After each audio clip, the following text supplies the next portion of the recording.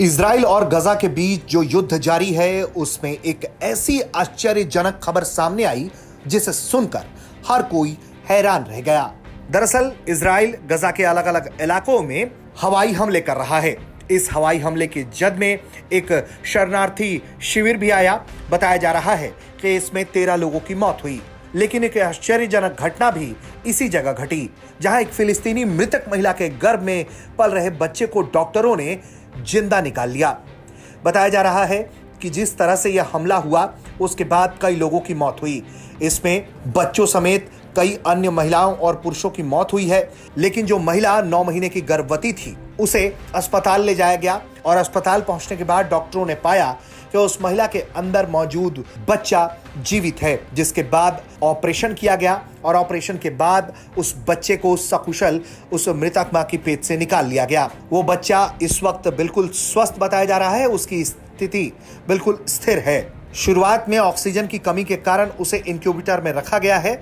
माना जा रहा है कि वो बच्चा सकुशल घर वापसी कर लेगा। इस हमले में उस परिवार के कई लोग मारे गए, लेकिन इस हमले में उस बच्चे का पिता बुरी तरह से घायल हुआ, जो अभी तक जीवित बताया जा रहा है। इसके अलावा वो बच्चा भी जीवित है, हालाँकि उसकी माँ इस दुनिया में नहीं रही। उसके घर वालों का कहना है कि वो अपने बच्चे का चेहरा देखना चाहती थी, लेकिन उससे पहले ही उसके इस हमले में दुर्भाग्यपूर्ण तरीके से मौत हो गई। इस पूरे मामले में डॉक्टर ने बताया कि 19 जुलाई को यासिन का परिवार इजरायली हवाई हमले में टारगेट हुआ और उसी दौरान कई लोगों की मौत हो गई। तमाम मरने वालों में एक नौ महीने की प्रेग्नेंट महिला थी, जिसे अल अवादा अस्पताल लेकर आया गया। लेकिन डॉक्टरों ने जैसे ही पाया कि उसके गर्भ के अंदर मौजूद बच्चा जीवित है, उसे सर्जरी के बाद निकाल लिया गया। वो इस वक्त स्वस्थ है और ऑक्सीजन सपोर्ट पर है। उन्होंने ये भी कहा कि ईश्वर का धन्यवाद है कि बच्चे को उन्होंने जीवित बचा लिया।